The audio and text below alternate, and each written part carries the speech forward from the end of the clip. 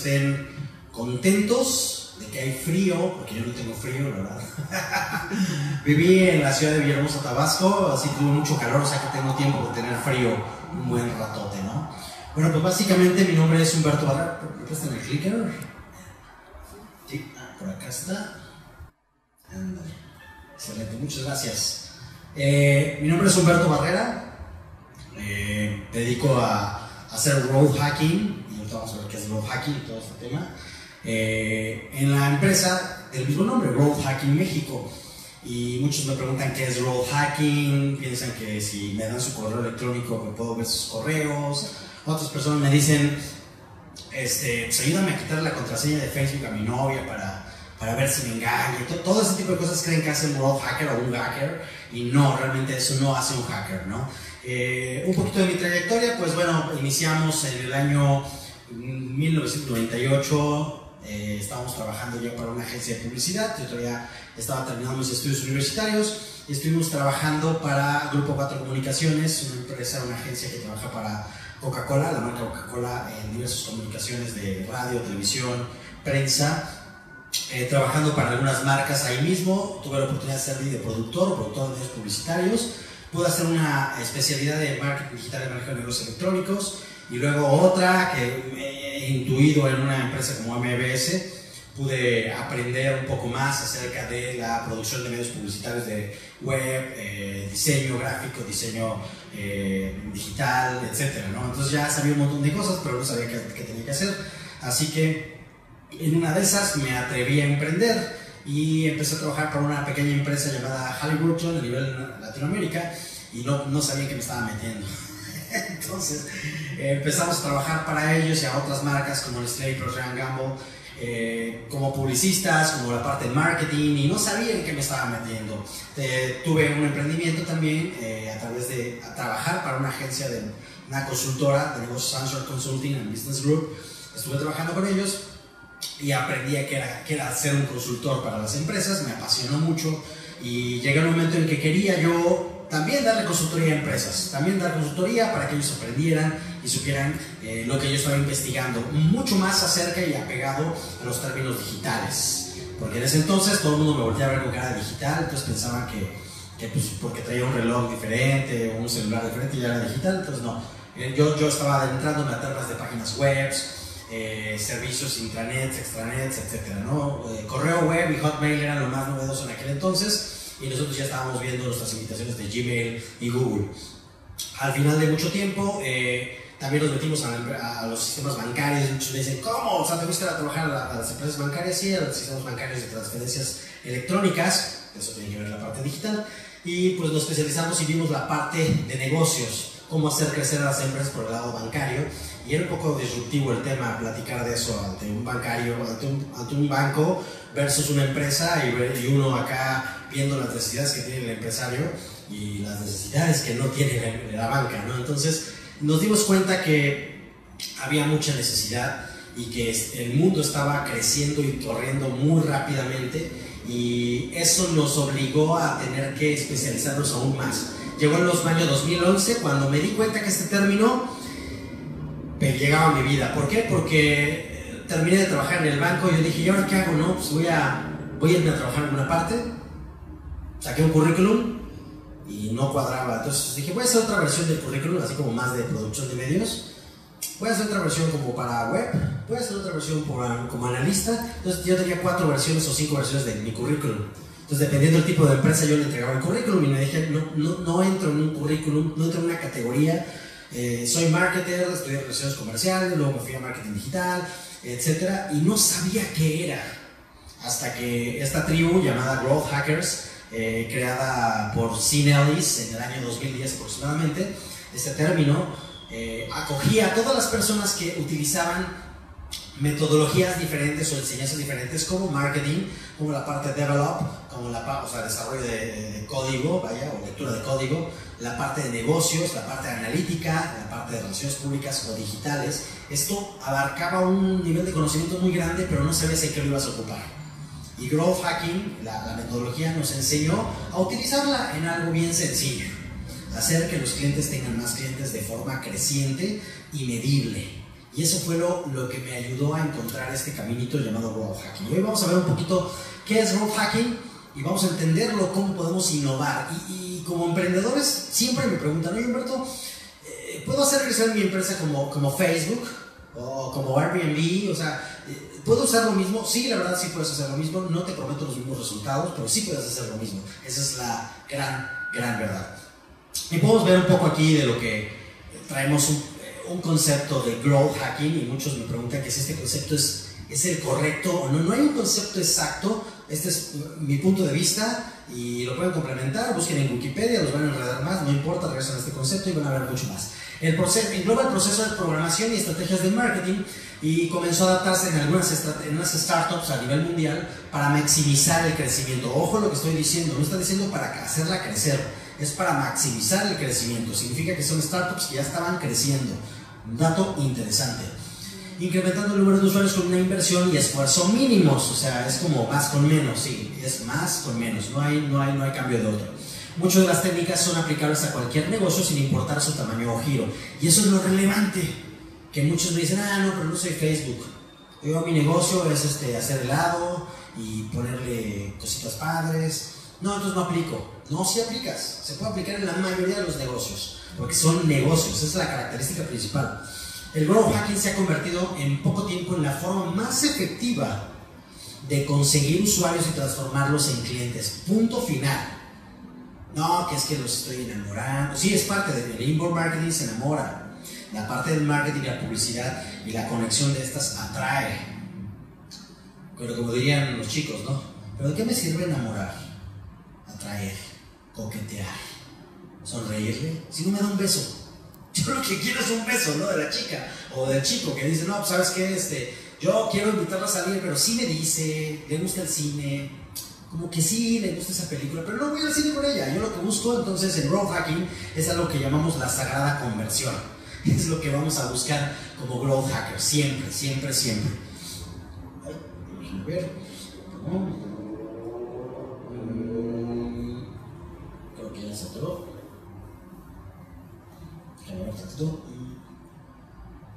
Ahí estamos. Ahí se atoró, ¿verdad? Ahorita lo vemos. Bueno, el caso es que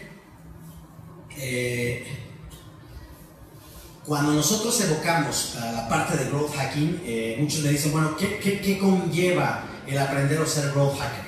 Porque es un problema, exacto, gracias. Es un problema porque muchos dicen, ah, eh, tengo que estudiar. ¿En qué universidad me recomiendas estudiar growth hacking? No, no existe una, una universidad que enseñe growth hacking. Gracias, de nada. ¿Por qué? Porque no es, una sola, no es un solo conocimiento. Necesitas tener una mentalidad mucho más abierta de encerrarte en solo aprender. Humberto, ¿qué tuviste que aprender para llegar a, la posición, si queremos llamarla como posición, la verdad que no, me acostumbro a decir la posición, de growth hacker? Bueno, estudié contabilidad en algún momento, entiendo de activos, pasivos, capitales, balanzas financieras, estados financieros, eh, proyecciones financieras en sí, conozco la forma en cómo puedes hacer una disminución de intereses del capital, temas contables, ¿sí? Ah, oye, eso no hace ser raw hacker, no, pero me das a entender de lo que estás hablando en los negocios. ¿Qué más aprendiste, Humberto? Bueno, yo también soy músico. ¿Y de qué te sirve la música? No sé, pero me sirve a pensar mucho más rápido. Cada músico que toque pueda tocar una pieza instrumental con bajo, guitarra, piano, batería, lo que tú quieras, y pueda hacerlo mucho más rápido, te permite pensar más rápido. Y es una habilidad que te permite generar esos, esos, este, esas aptitudes básicamente en ti.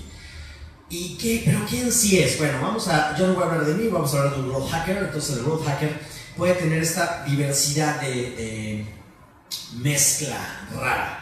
Es decir, el data testing, que significa todo lo quiero ver y analizar. A mí me dicen muchas veces, fíjate que tengo muchos clientes y muchos me están diciendo que cambie el producto. Mi respuesta es, ¿cuántos? Dime cuántos y qué te contestaron cada uno. No, pues muchos. Es que esos muchos pueden ser 10.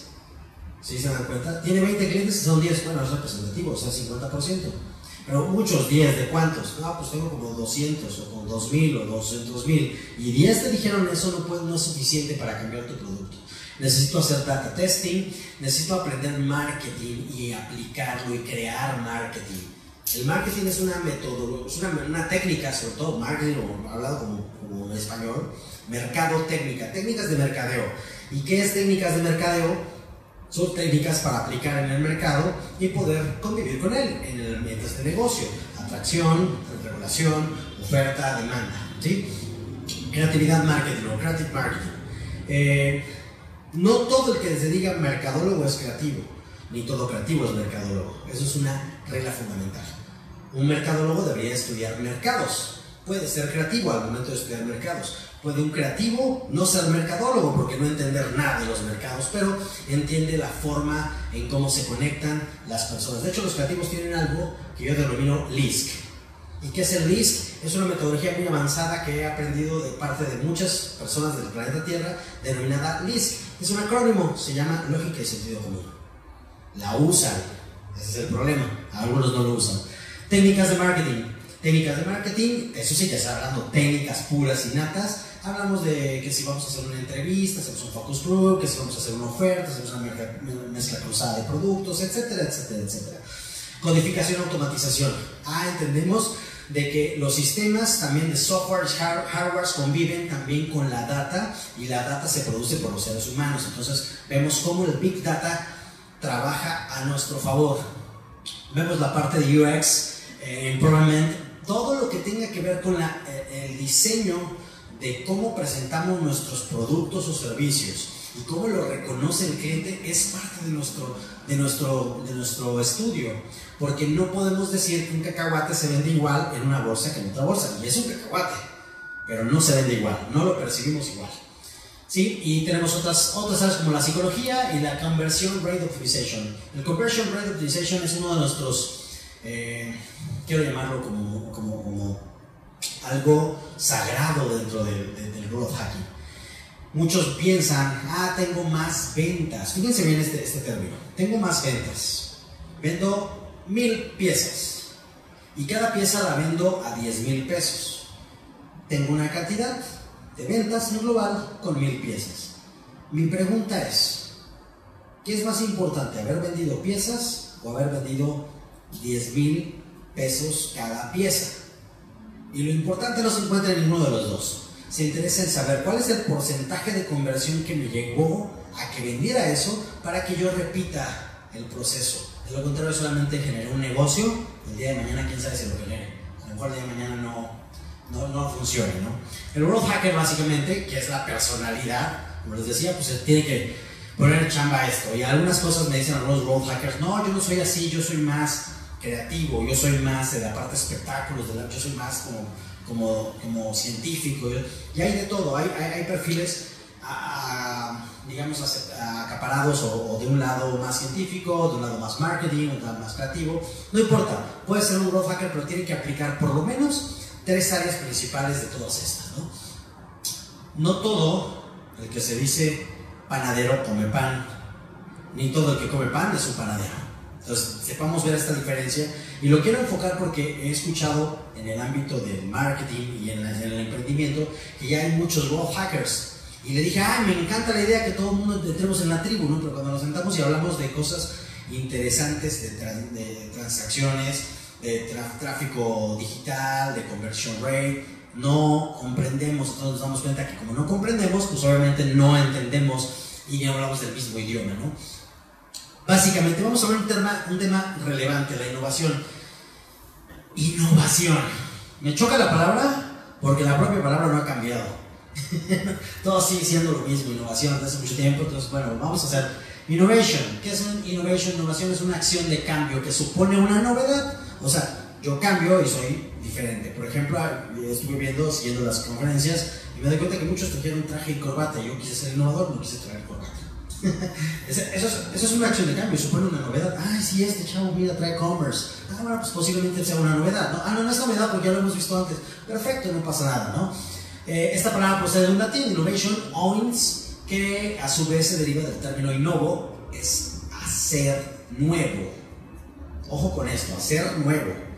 Y renovar, que se es una forma in, o sea, hacia adentro. La innovación realmente debe ser más hacia adentro de cualquier estructura o entidad, empezando desde nosotros mismos hasta una empresa o un emprendimiento. No puede innovar una persona si no ha innovado el mismo. Y me encuentro perdón si a veces soy crítico, soy crítico para mí, si les queda otro, pues les comparto el costal. Pero pues yo decía, ¿cómo puedo ser innovador? Mostrando una imagen innovadora en la empresa, tratando de mostrar servicios innovadores y no me atrevo a cambiarme el peinado. ¿Sí? Entonces es un pequeño gran problema. Ahora ya me atreví, ya, ya tuve que cambiar el peinado, entonces ya soy, puedo ser innovador hacia mí mismo. ¿no? hoy traigo otro, el diferente de ayer. La innovación es una acción continua a, largo de la, perdón, a lo largo del tiempo. Esto es bien importante porque en el growth hacking me preguntan, eh, ¿me puedes dar una consultoría de growth hacking? Sí, este, pero ¿cuánto vas a cobrar? No? Pues 10 pesos. ¡Ay, qué padre! Van a ser 3 meses nada más, por favor. Digo, no son tortillas. O sea, así de, nada más dame 3 kilos y ya. No, no son tortillas. Es a largo tiempo. Eh, durante el largo tiempo vamos a encontrar cómo innovar la forma de atraer clientes por medio del growth hacking. Growth hacking es una metodología, ¿no? Una metodología puede ser la metodología de hacer pozole, ¿sí? Pozole jalisciense, metodología jalisciense. Pozole guerrerense, metodología guerrerense. Son pozoles, son pozoles, pero son metodologías diferentes. ¿Cómo vamos a innovar? Pues si no lo sé hacer ni siquiera uno ni el otro, no puedo innovar nada. Si yo intento preparar otro pozole versión 3.0 de no sé qué, va a ser otra cosa, no va a ser una innovación, va a ser una creación nueva. a lo mejor sabe horrible. Entre otros términos que tienen significados similares se pueden emplear como sinónimo un adelanto, un reinvento, una reforma, una renovación. Eso es interesante porque el reinventarse y el reformarse constantemente es necesario. Una persona que se genera como innovador sabe que parte de su religión de innovación es renovarse, no hay más. Un emprendedor, ¿cómo puede innovar un producto nuevo si no se centra en de renovar el mismo? Por ejemplo, el día de hoy yo me encuentro ya estudiando la parte de cómo la inteligencia artificial afecta a la toma de decisiones de los seres humanos. Oye, pero ¿qué sabes de inteligencia artificial? No sé, pues estoy aprendiendo, estoy renovando. Pero no hay nada que me tenga que no sé, tengo que aprenderlo. De alguna manera tengo que aprender. Innovación, por lo tanto, puede dividirse en estos términos de innovación. La gente le dice, ¿puede haber innovación de qué tipo? Bueno, vamos a clasificar, tenemos que clasificar, no me gusta clasificar, pero pues utilizamos las clasificaciones en todas partes, ¿no? Vestidos amarillos, vestidos verdes, vestidos rojos, largos, cortos, zapatos negros. O sea, que están tus zapatos, ¿no? Innovación tecnológica, innovación empresarial, innovación educativa, innovación disruptiva. O sea, puede ser disruptivo siendo educativo, sí, pero una cosa a la vez, por favor. Primero innova educativamente, después puede ser disruptivo. No podemos ser eh, Master Chef si nunca he sido chef no puedo participar en el programa de Miss Universo si ni siquiera he sido Miss. o sea, no puedo. Bueno, ya en España lo logramos. Innovación y creatividad.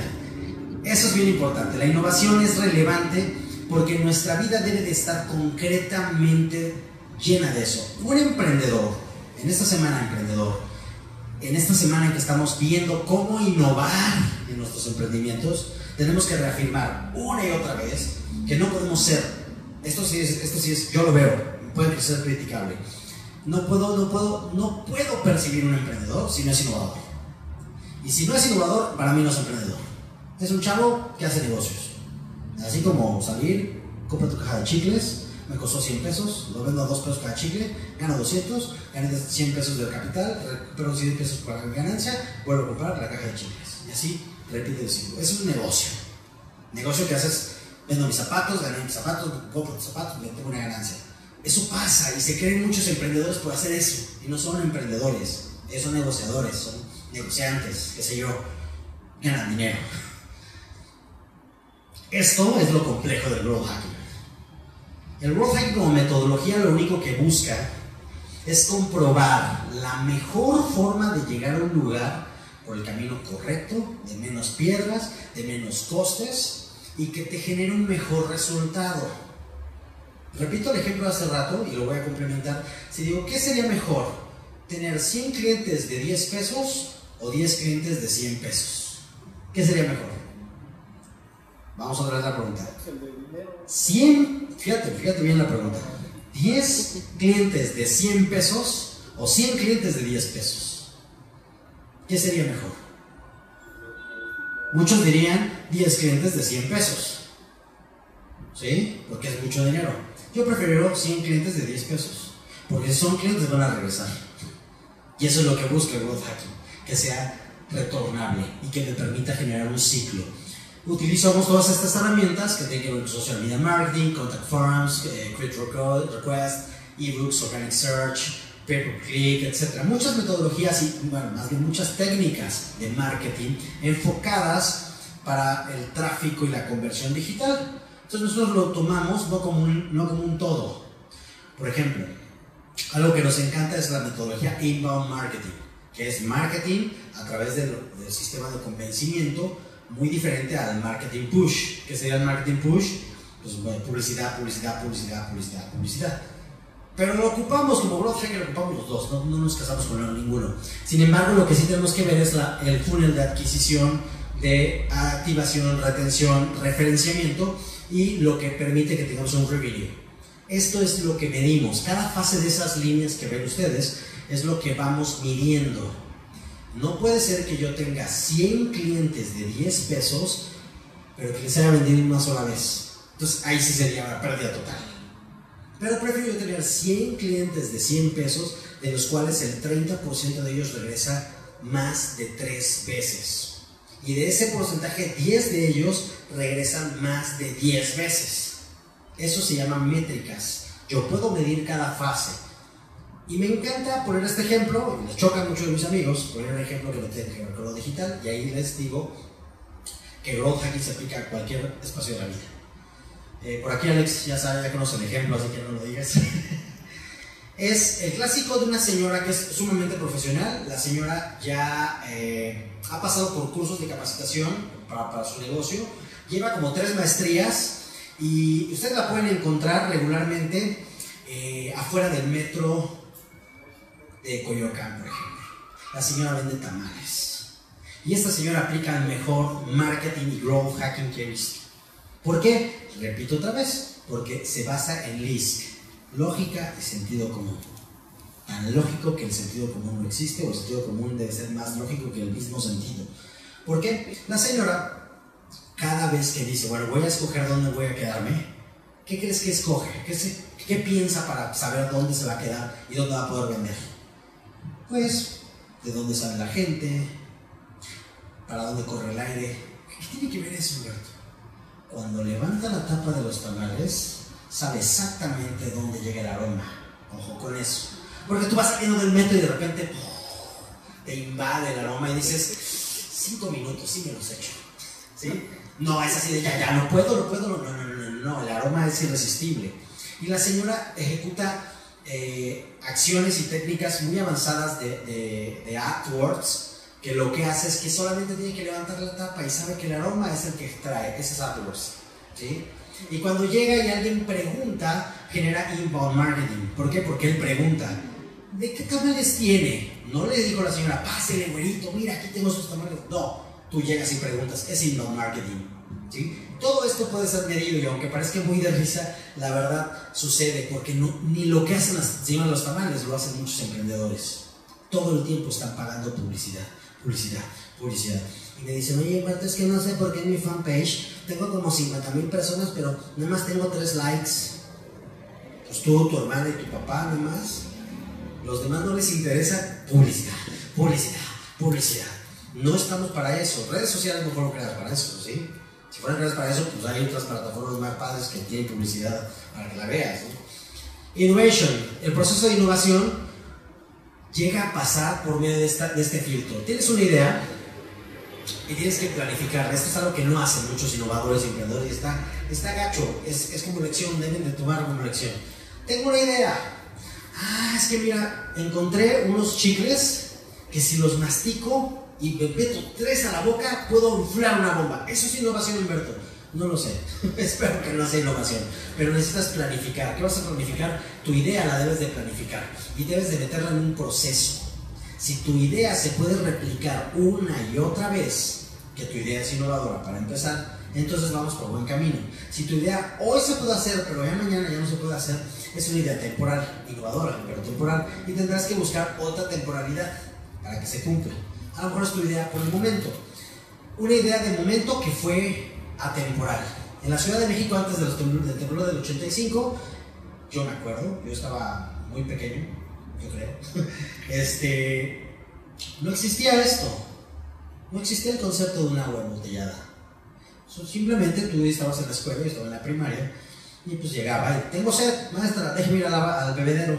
Abrías la llave, tomabas, y listo. ¿Para qué estar cargando esto?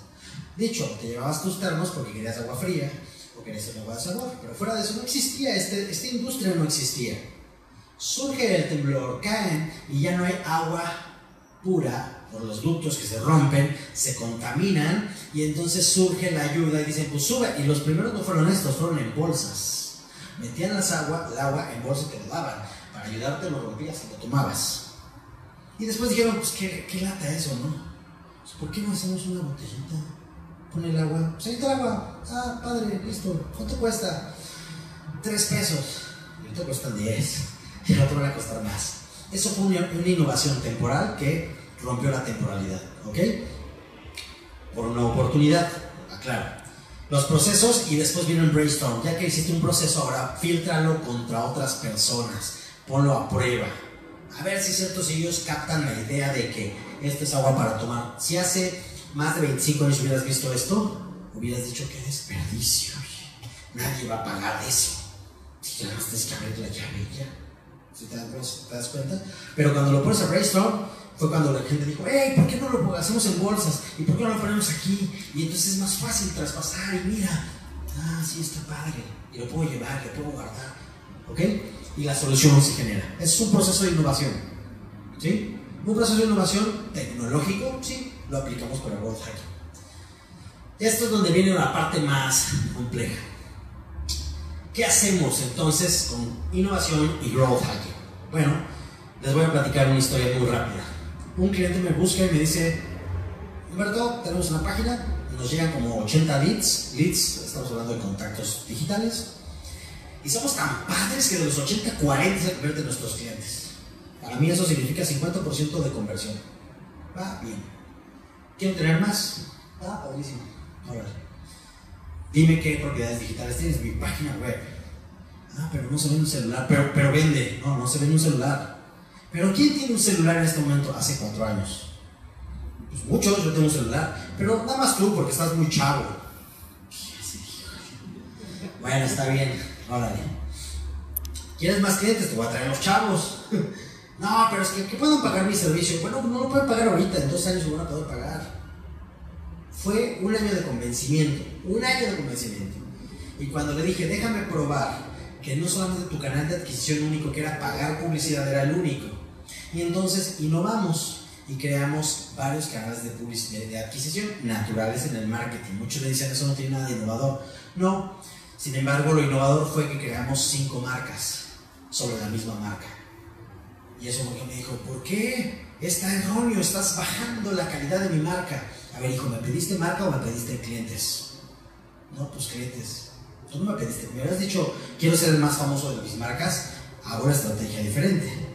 Entonces creé cinco submarcas que, que parecieran competencias de él y posicionamos las cinco marcas. Y entonces cuando tú buscabas ese producto, aparecía en la posición 1, 2, 3, 4, 5 de Google y el usuario decía, ¿a cuál le doy? ¿A cuál le doy? No, este me cae mal.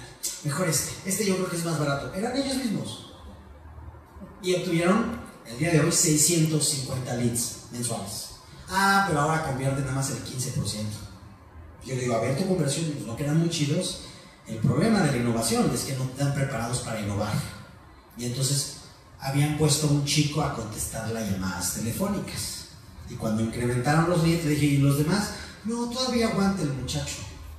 Oye, pero nada más está contestando por correo electrónico, necesitas un sistema. Es muy caro tener un sistema peros, peros. Peros en 2010, que no podías tener sistemas. A de hoy un sistema CRM, ¿cuánto crees que cuesta? CRM, un sistema como el de los call centers. Sí, profesionalmente cuesta cerca de los 250 mil dólares. Pero ¿qué te cuesta tener uno que te cueste 8 mil pesos al año? Sencillo, es accesible, cualquiera lo puede comprar. Entonces, innovamos y estas dos partes son las que buscamos. La búsqueda del crecimiento constante al menor precio posible, anteponiéndolo por lo demás. Si el cliente me busca y me dice quiero ser el mejor y más famoso, le digo, yo no soy el indicado. Busca un brandólogo, busca un, marketer de marcas. Yo no soy eso. Lo conozco, sí. Así como igual sé hacer pan en mi casa, pero no, no tengo una panadería. ¿sí? Innovación incansable. Si yo hago algo, necesito buscar el punto de innovación. Es mi obligación.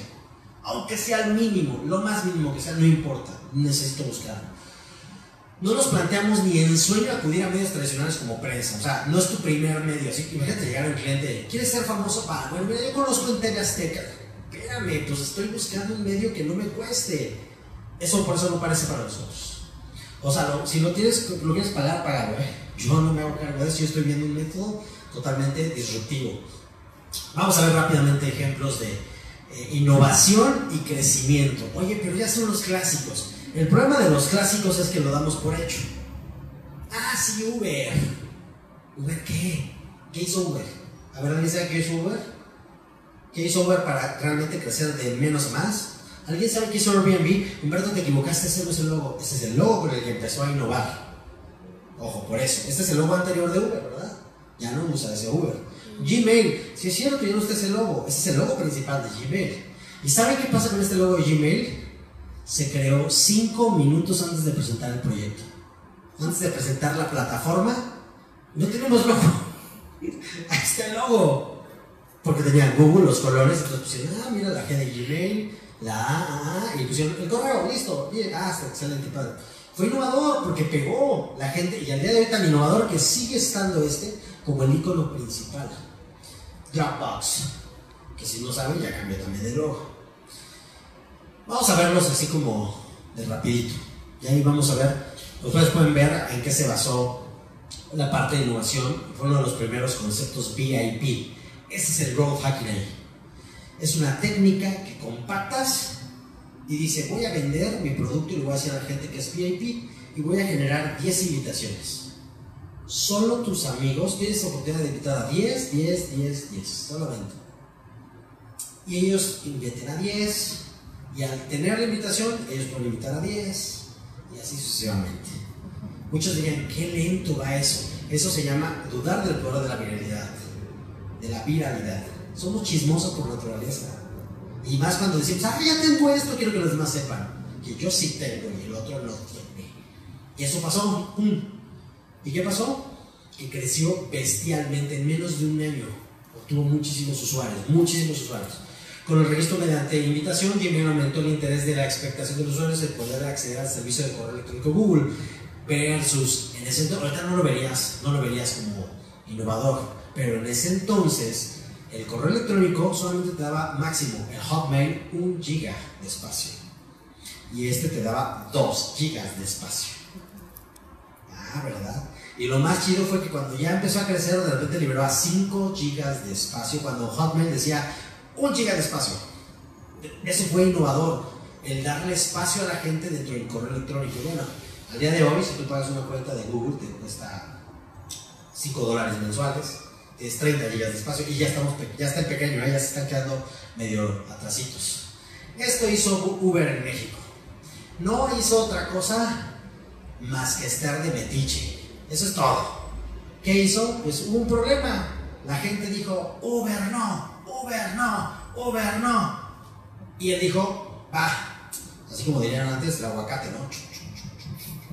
es gratis para todos. En el momento de la crisis, ojo, en un momento de crisis, crece tu posición más radicalmente. ¿Por qué? El lema es antiguo y lo encontramos con los, con los, con los publicistas de, de Square Garden y todos ellos. ¿Cuál es?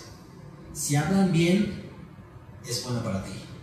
Si hablan mal, es bueno para ti. Si no hablan, es muy malo para ti. Así que tienen que hablar. Si hablan mal, te ay, me supe que Uber está haciendo esto mal, ya estás hablando de él, ya sabes de su existencia. Máximo cuando no tienes mucha presencia. Entonces necesitas mucho presupuesto. Ojo con eso, tampoco lo empleen en mal plan, porque también puede ser contraproducente, ¿no? Aprovechó el recuerdo de las manifestaciones para hacer una campaña de adquisición de usuarios imparable, porque dijo, ven, te doy viaje gratis y puedes invitar a tus cuates. nada más y nada más que 800% en un mes subió. Aquí está Dropbox, bueno, aquí está Dropbox. Dropbox te deja espacio, ¿no? Es tu USB portátil que no tienes que andarlo cargando, se te pierde y aprendes toda la información. Entonces, Dropbox, de hecho fue uno de los temas principales del World Hacking, porque Sim Ellis, el creador de la palabra, trabajó para la, para la marca Dropbox implementando estrategias de crecimiento. Y uno de sus puntos importantes fue el referido. Por eso digo, somos chismosos por naturaleza. Tiene que ver con la naturaleza. Y le dijo, hey, oye, pues tú tienes 2 gigas de espacio, pero no quieres tener 10. Mira, si invitas a 5 amigos y agarran 2, 4, 6, 8, 10 en sus espacios, esos 10 gigas te los doy a ti también. Entonces fue empezar a invitar a todos porque yo quiero ya tener mi espacio arriba, yo no quiero traer mi USB aquí, mejor. Y todavía, por si fuera poco, agarró y le dijo a Samsung, oye, ¿no te gustaría que tus usuarios tuvieran 2 gigas de espacio para que guardaran sus fotos y no les, no les, no, no les saturaran su teléfono? Claro, ponlo, pum, para arriba, todo el mundo ocupando cuentas. Y ese es como creció su número de usuarios. ¿Sí? Increíble. Airbnb. Y este es uno de los temas que siempre me, me gusta, porque Airbnb realmente lo que hizo fue ser rudo, ser urbano. O sea, es como imagínate, lo voy a poner en otro plano. Eh, estoy dando una conferencia aquí, me dicen, ah, estás en tele, en transmisión internacional, y de repente, pues vienes y tú te paras aquí, y te pones así, hola, hola, y, te, y, a ver cómo te llamas. Y tengo una entrevista, automáticamente tú lograste tu objetivo, que te conocieran los demás. Eso pasó con Airbnb. Simplemente dijo, pues fue a Craigslist, y en Craigslist tú puedes subir tus propiedades. Entonces dijo, pues mis usuarios se colgaron aquí, yo les subo sus propiedades en Craigslist. Entonces tenían visitas de todas partes y llegó a incrementar muchísimo su base de usuarios que Craigslist, porque fue promedio hacking, o sea, no fue dar de alta uno por uno, sino hizo un, hizo un aplicativo que cuando me daba de alta en mi página, me daba de alta automáticamente en, en Craigslist. Y entonces Craigslist no se dio cuenta hasta que dijo, oh my god, tengo muchos usuarios, ¿qué pasa aquí? Y acabo de transferirle todos mis usuarios a, a la otra página, sin darme cuenta. Ya, lo botaron a Airbnb, pero tarde, ya habían incrementado muchísimo sus usuarios crear puentes entre los clientes y usuarios y que buscaban clientes y usuarios. Es decir, su gran beneficio fue hacer que la gente que buscaba una casa en Craigslist encontrara una casa y ellos pudieran rentar la casa a unas personas que buscaban casa y así sucesivamente. Esos son growth hackers. Son personas que eh, pensaron un poquito más afuera de la caja en, en, algo como, por ejemplo, ¿cómo podría ser un growth hacking para la señora de los tamales? O sea, vamos a, a innovar, ¿no? Y la señora de los tamales regularmente diría, pues traigo de verde, de chile, dulce, manteca. Ah, puede ser uno de chicle. No, señora, no, no lo invente, por favor. Por ahí no va la innovación. Pero podríamos hacer invitaciones puntuales en tarjetas de presentación y que fueran entregadas de forma personal en las oficinas. Ay, eso ya lo hemos visto, Humberto, sí, pero no lo haría un, una botarga llena de tamal. Eso, oye, eso llamaría la atención, esa es la intención. ¿sí? ¿O qué pasaría si, bueno, eso ya está muy, muy crazy, que sube una chica a las oficinas regularmente repartiendo estas, estas y tiene un olor a tamal, ¿no? Dirán, ¡qué horror! O sea, pero, pero, todo lo recuerda la señora de los tamales. Bueno, son ejemplos burdos, pero esos son hackings. Hacking es un camino hacia ese punto con menos, con menor número de pasos. Vas a hacerlo tú caminando, saltando, rodando, como sea, pero lo voy a hacer con el menor esfuerzo posible. Y cuando lo encuentre, por eso es la innovación, tengo que saber en qué momento y en qué punto voy a hacer cambios. Estas son mis conclusiones repito, siempre lo digo, son mis conclusiones, se las pueden copiar, las pueden viralizar, las pueden repetir, se las pueden apropiar, le ponen su nombre, no pasa nada, porque al final no se van a olvidar. Growth Hacking podría ser una, podría ser usada en aplicaciones gratuitas, pero, perdón, podría ser usar aplicaciones gratuitas y tener logros, pero eso no te hace growth hacker. ¿Sí? Mucha gente me dice, ya, sí, es que yo conecto la aplicación tal con Facebook, entonces ya soy growth hacker. No, es como comer pan y saber preparar un pan en tu casa, pero no te hace panadero, ¿sí? No es panadero el que come pan. Innovación no es hacer las cosas diferentes solamente, es hacer algo que la gente pensaba que no era posible o ni siquiera tenía en mente que fuera posible. Eso es hacer innovación. ¿Sí? Por ejemplo, eh, ¿Cómo sabes cuándo va a caer la bolsa? ¿Cómo sabes cuándo va a subir el dólar o cuándo va a bajar el dólar? Si tú tienes información, fíjate bien en esta frase, tienes información que las demás personas, las demás personas piensan que no es verdad y es verdad, tienes un punto de innovación. Solo falta hacerlas, solo piensas, tienes que hacerlo. Growth hacking debe ser una metodología que toda empresa debería implementar en sus equipos de trabajo, sea cual sea el giro y el, la área. El área, perdón.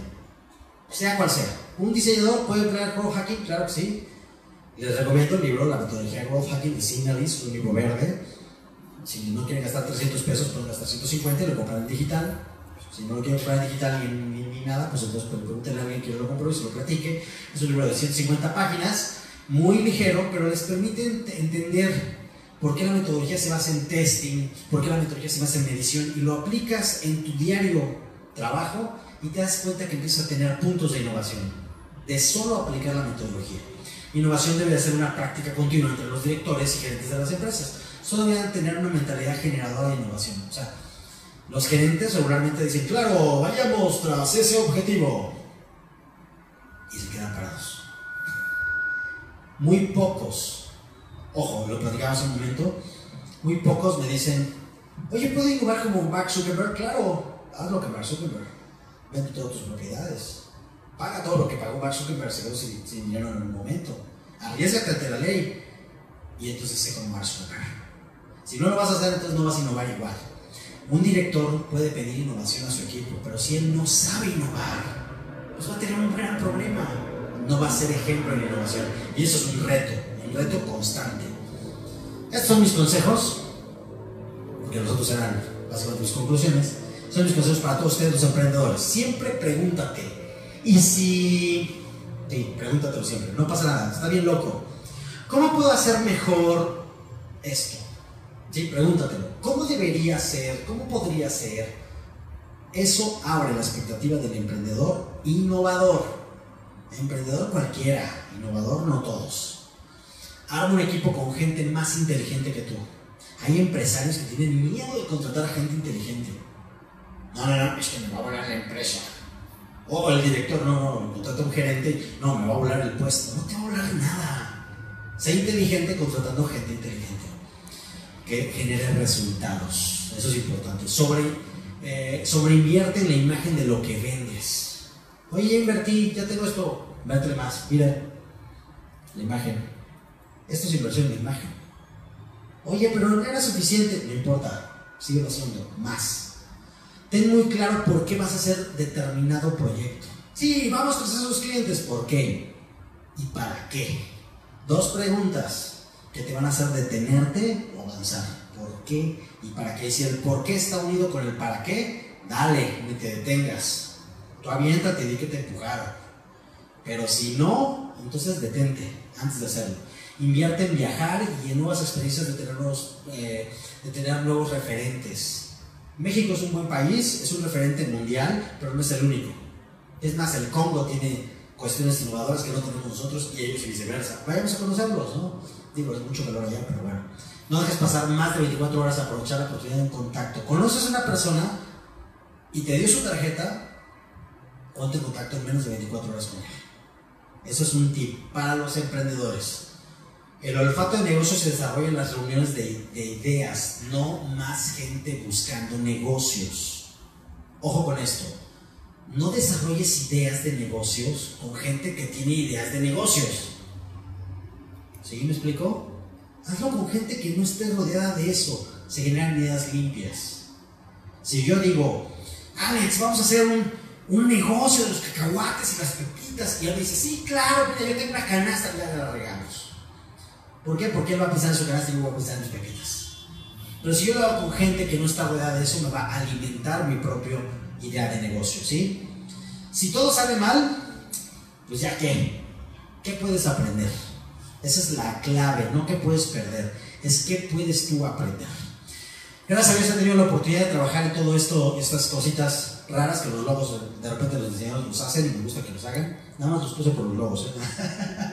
y pude trabajar en ellos y tuve este, y les voy a decir la, la verdad, este negocio me costó 5 millones de pesos de pérdida y que lo viene pagando 5 años después. Me enorgullece porque me enseñó una maestría en finanzas una maestría en legal. Supe que era un contrato y supe que los contratos no todos se firman. ¿sí? Por eso perdí 5 millones de pesos. Y bueno, estos son algunos de los clientes atendidos que gracias a Dios pueden tener un crecimiento formal, van a tener un crecimiento formal, exponencial, y de ellos depende, gracias a Dios no depende de mí, el que ellos tengan más resultados. Simple y sencillamente depende de ellos. La metodología fue aplicada, fue aplicada a las técnicas, eh, la forma de crecimiento, pero depende de ellos. Y este es un consejo y esto es un, un mensaje directo para ustedes. Regularmente me dicen, Humberto, si tú me dices algo que hacer, yo